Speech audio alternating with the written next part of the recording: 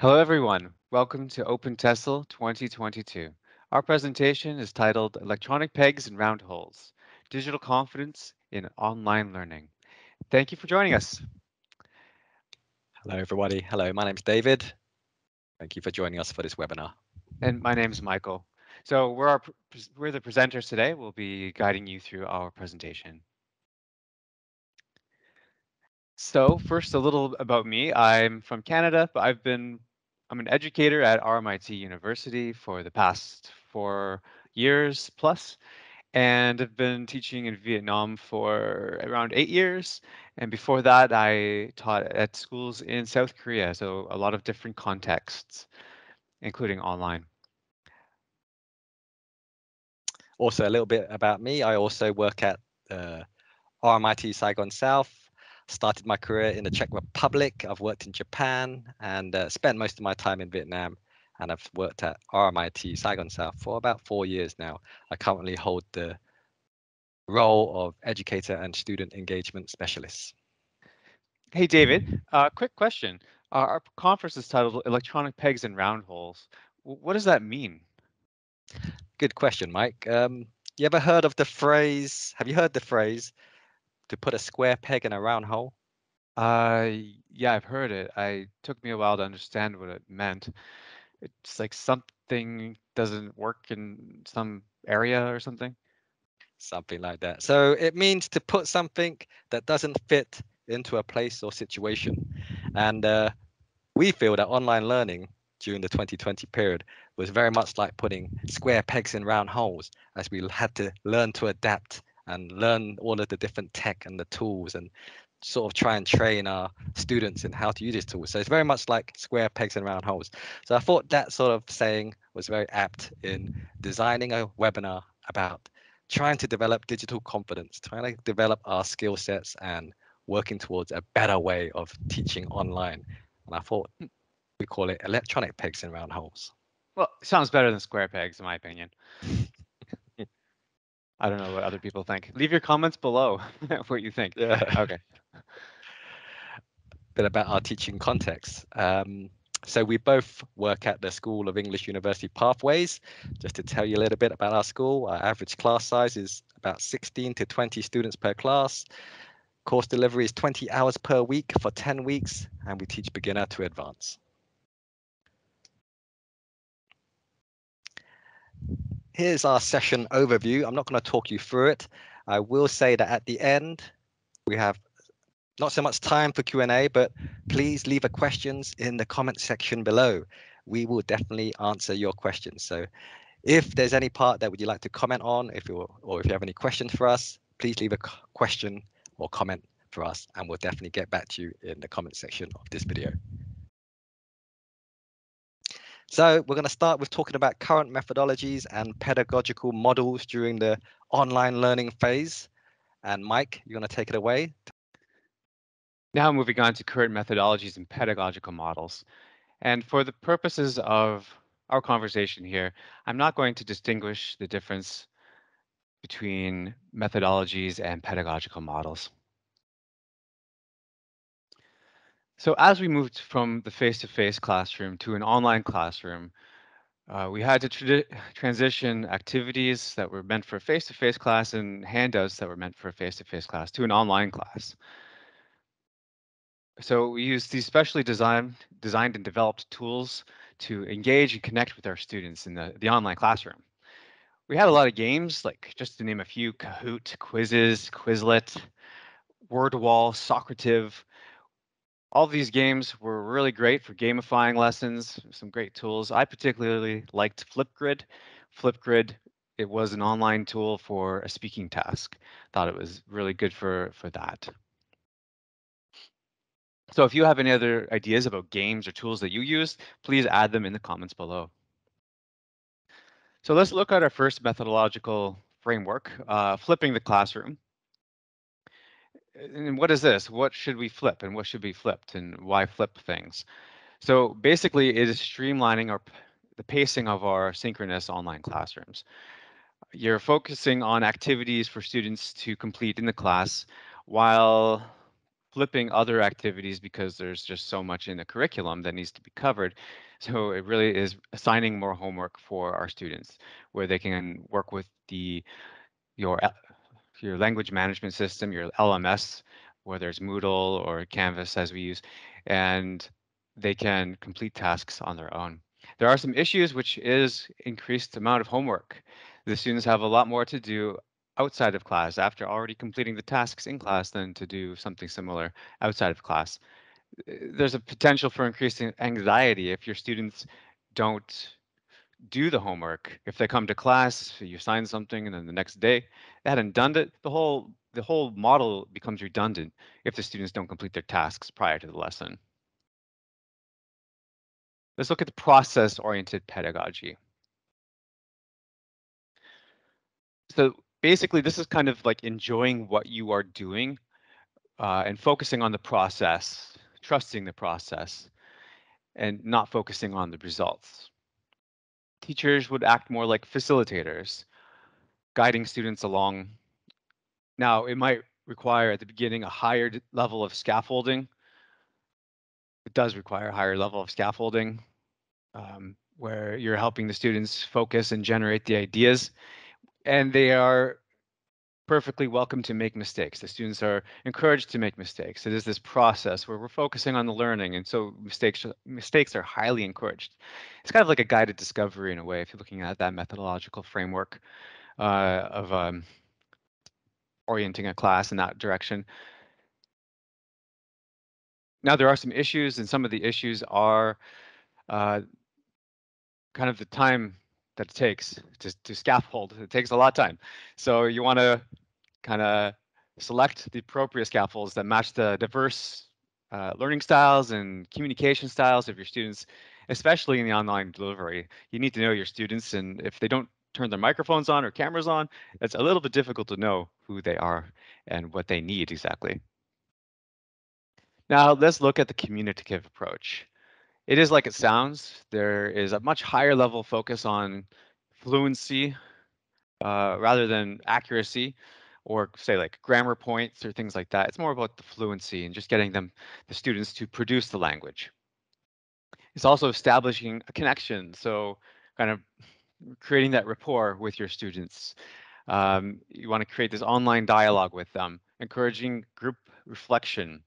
Uh, this also lends itself quite nicely to a materials light uh, lesson plan where you are planning out the lesson and having the students generate the content where they're bringing pho photos or bits of writing or past experiences into this material light, light style communicative approach there are some issues with this. Certain students are focused more on passing exams. They might be interested in just taking an IELTS class and getting an IELTS certificate. Um, and that's great, but it's not going to really improve their fluency as much. They're going to have some a set of memorized phrases. That's not exactly fluency. So some students are like that. They have that kind of orientation. Some students are resistant. They're just more focused on the rules. Um, they're more focused on building the vocabulary and grammar knowledge rather than than uh, the fluency.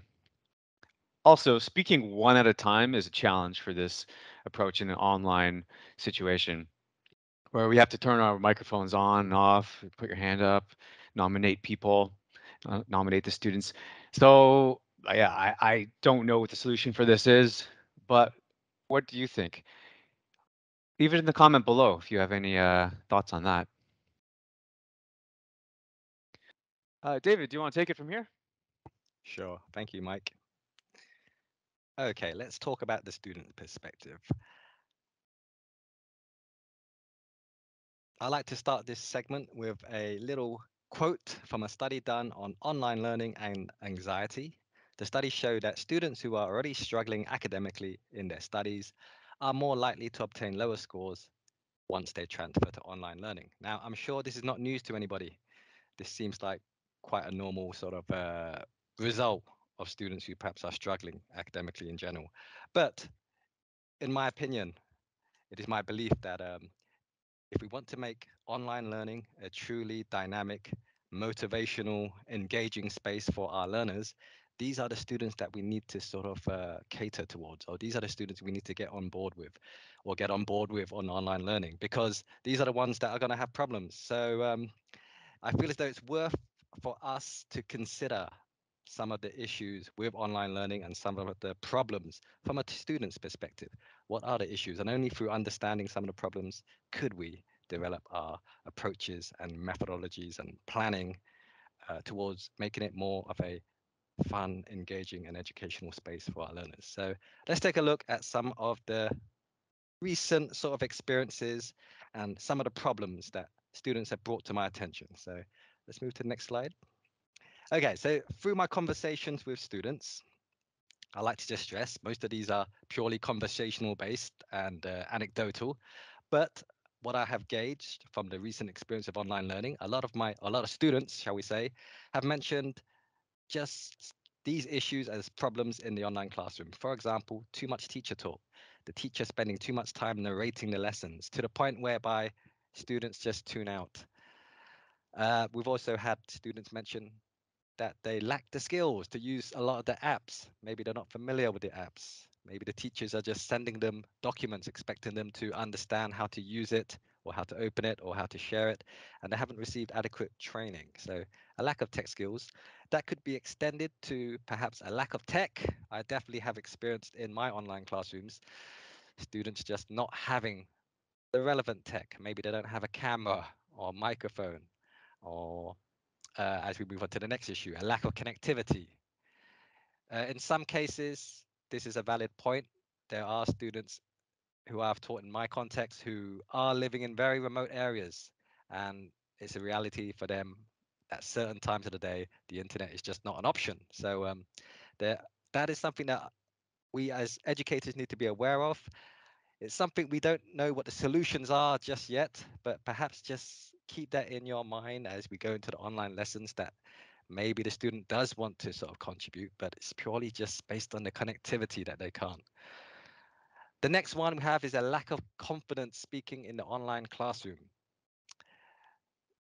So this could be for various reasons. Uh, students, well, being online is quite a new experience for our students.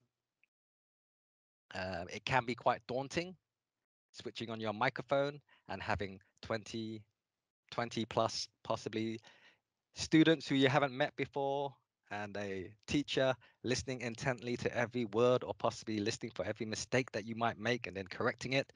So that there's a definite a sort of pre, sort of a um, familiarization process it will take a while for our students to sort of develop their confidence. Certain students might take longer, but uh, it's something that teachers need to be aware of. We need to sort of help them. Maybe they need some sort of training in this. Maybe there's some sort of digital confidence that we can do with them or exercises just to develop some of that fluency and some build that confidence that they need to have when they're online. This one I think is very important. It's the environment issue cannot learn in the home environment. Students perhaps not optimizing their learning space. There's various reasons for this. It could be that they're sharing uh, a, a room, a bedroom in which to learn in. It could be that there are more, maybe a whole family living in a very confined space. They could have family members watching them as they are learning, which creates its own sort of form of anxiety. But it's it's something that we as educators cannot sort of fully grasp or fully solve, but I feel as though it's something we need to sort of consider that this is something that students have to contend with. It's something that they perhaps don't always have control over, and that it does affect a lot of their sort of experiences of being online and why it's a negative experience for them being online. And it's something that perhaps we as educators could be a little bit more sympathetic to. So just it's something to consider, like just the home environment issues for students. And it has been something that's been brought up to my attention where students have said they cannot learn at home. They just don't like being in their home environment and trying to study at the same time. The last point here is I'd like to mention is just being distracted by social media. This could be extended to being distracted by pretty much any for any stimulus could be distracting. It's something that once again we won't have much control of as teachers. Um, once the cameras go off, there's not much the teacher can see, and we can't exactly say to our students, "Is that a phone in your hand? Turn it off." So it's something that we don't have much control of. It's something that students will do, I'm sure, if we if we let them. But it's something that we need to be aware of. It's something that we need to think about, and maybe we could utilize to our advantage. We could perhaps use social media in our teaching as as a way of delivering our message or communicating our message with our students. So those are the, some of the recent experience of online learning. Those are some of the experiences that have been brought to my attention. And I feel as though that these points are important because to truly understand it, to truly understand our students and make the whole online learning experience better for, for our students primarily, we should use these ideas and find solutions to them in order to develop the technology and develop our lessons and make the learning experience just better for everyone involved, both teachers and students. So that moves us to the next section where we're going to talk about best practices. Mike, I believe you're going to take over for this part. Thanks, David. That was really thorough. Uh, a lot of good ideas to actually think about there. Thanks. Yeah, so moving on to the best practice. Thank you, David, for uh, telling us about the students' perspectives. It was very uh, thorough. So in best practices, what can we do to prepare both the students, the teachers, and their schools for future online studies? So let's talk about the best practices in your own class and for your school. So we're going to look at the educators and decision makers and, and which best practices that we think we could go forward with in into the future. So best practices for you, the educator, if you're an educator. So you want to establish the rules early, like first language usage in class. You want to think about if it's an English classroom, you want to think about your uh, how much English you expect the students to use. So you want to choose the level, the amount of English that is appropriate for the level. So uh, for example, in a breakout room, say in an upper intermediate class, you might say, for the first two minutes, you can use a little bit of L1 so everybody understands where we're going with this activity. And then from that point on, I expect you to use the next 10 minutes English only. And while you pop in and out of each breakout room, then you can monitor that and the students should know clearly what they're expected. Alternatively, you could have the for the first 15 minutes of class, maybe a lot of L1 in class. That's okay, it's acceptable. And then for the remaining 45 minutes of the class, have have uh, English only. You want to establish a clear camera on policy. So students, maybe you might want to be relaxed with it, but expect them to turn it on most of the time. Sometimes you can imagine if someone is on a device, they're holding it up to their face and they're getting a close up of their face, so they might be anxious. They might feel nervous about that you want to create uh, leaderships, leadership positions for the students in your classroom. Um, let students help each other. Some of the students are more tech savvy uh, than we are. So you want to help them guide the class. And so don't be afraid to hand over the reins to the students. Sometimes uh, it was fun. I would let them do that. Very nerve wracking, but also it was fun and it builds trust you want to reward participation. So thinking about how the students are participating, what they're doing, what they're contributing, and if they aren't contributing, maybe for a few days, that's okay. After that, get after them. But I think rewarding and praising students for participating is very important.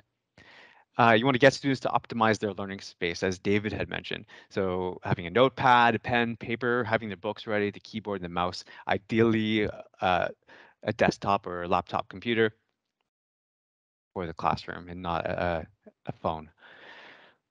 So you want to try also to embrace the process-based learning into your lesson planning. As discussed in our previous segment, uh, the process-based learning involves your students problem problem solving. It's kind of moving away from these traditional methods and more adopting this guided discovery methodology that kind of focuses on uh, yeah, problem solving rather than telling the students what is right or what is wrong. There's been a lot of research and a lot of educators believe that this is a way to retain our students' interest and attention. Gamification is also a great, a great uh, pedagogy to use, a great theory to use. It's not really a standalone method, but you want to identify what things need to be gamified. So um, you know, basically using elements like scoring and peer competition, and it's also a way to test your students. So when you're identifying what needs to be gamified, things that lend itself quite nicely are, you know, grammar points, um, vocabulary, vocabulary matching activities, synonyms, things like that. Those are all great ways to gamify a lesson. You also want to know your students and know if they actually want to play games in the lesson. You want to set the rules for the game, um, like they have a certain time limit to sign in. They, you know, because quite often people might be waiting around. If they have a lag, that's okay. Just keep going. Uh, you want to keep it flexible in that respect and also extend the gamification into feedback. So do provide some feedback. A lot of those games that we mentioned earlier uh, had have feedback uh, at the end of the game to tell them what percentage of the students answered each uh, question right or wrong. So that's in Socrative or any kind of activity, any kind of uh, software like that. So best practices and considerations for the decision makers at your at your institution. Maybe there's no perfect methodological framework or pedagogical theory that fits each context. Um, so you want to think about streamlining content. So a little bit of flipping, but not too much, right? Uh, bearable schedules. So th think about the amount of screen time. You want to optimize your screen time. So we're not burning out our, our retinas. Changing assessment to reflect and util utilize the, uh, the nature of the digital content. So rather than having traditional exams, they could use more software-oriented assessment types like, I don't know, it's Instagram or projects writing about their experiencing discussing experiences discussing what it was like to study online or like a like a vlog even like a video video log or a blog post those could all be used um, also documenting so research research has also shown that documenting students and faculty experience is really uh, vital for understanding the long-term implications of e-learning on teaching this way you can adapt the curriculum to an online audience. All right, David, can you talk about closing thoughts? Thanks, everybody. Thank you, Mike. All right, I've got two main closing thoughts for us today to end out this webinar. The first one I'd like to talk about is allow time for normalization. Online learning is still quite new. It came to us quite suddenly during the 2020 and 2022 period. In some cases, we were unprepared for the challenges that came with it. It will take a while for us still at this point to become familiar with the tools, the tech, the work environment. We'll need to adapt still. We'll, we'll still need to learn new skills as the tech develops even more so in the future. So allow time for normalization. It will take a while for us all to get good at it. It will take a while for our students to be familiar with it. But eventually, it is my belief that online learning will one day be as natural to us and to our students as the classroom is to us now. Allow time. Our students are still adapting and finding out their level of comfort. It will take time, but the tech is ready, industries are ready. There's definitely a hunger and clamor for online learning it's important that we still persist with it, experiment with it at this stage. It will take time. Or everything we learn now will be relevant moving into the future. So yeah, my, my our first point is allow time for normalization. We're still in a phase of learning, developing, experimenting, but everything we'll will we learn now will be relevant and will make the experience better for us in the future. And it will take time. So yeah, I'm sure we all have struggles with uh, online learning. All of this will make us better as we develop our skills for the future. That's my first thought. The second thought, let's move on to the second one. Shift the discussion. So often around the staff room, I talk to a lot of educators. I also talk to my students about this. And I often hear them saying how they prefer being face to face in the classroom over online learning and then reading out a list of things that they perhaps did not enjoy about online learning. Bit bit like what we had just then. I feel as though this discussion has to end. It's no longer a case of which one is better, but it has it's more of a case of which one are we doing today? Shift the discussion. Um, I think we need to accept that online learning will be with us for a long time. If you look at the data, if you look at where the industry is going, if you look at some of the large tech companies and where the money is being invested at the moment, a lot of it is being invested in online learning. Universities are developing online learning departments specifically uh, to deliver their courses online to an international audience. There's a lot of money and research being invested. To repeat the point I made in the last one about allowing time, the skills we learn now will be valuable in the future. And this will extend to the students as well. The skills that they're going to be learning online will be valued for them as they develop in their education in the future, as they move further into education to higher ed. So it's no longer about I prefer classroom and these skills don't exactly apply and that online learning is perhaps not as effective or in this sort of regard. It's more about how can we make online learning better? What things can we do? What are the tools that we can learn? So it's very important that we shift the discussion and accept that two education and face-to-face are two different sort of models. And it's important that we have both in our skill sets. So let's shift the discussion. Thank you, Mike. I think that closes our webinar for the day. Thanks, David. Yeah, um, it does. I thought that was really interesting. Um, great closing thoughts. Uh, there's a lot to take away from that. Here is some of the places that we received, we read. This is where we collected the articles, collected information, tried to put this together for you guys. So you take a look at it online. Um, all right. Thanks, guys. Thanks Thank for everyone. Yeah, for spending Thank you, everyone. Please leave a comment or a question in the comment section below. Yeah. Yeah, please do. We'd love to hear from you. If you have any other ideas or you think we missed anything important, please add it down below.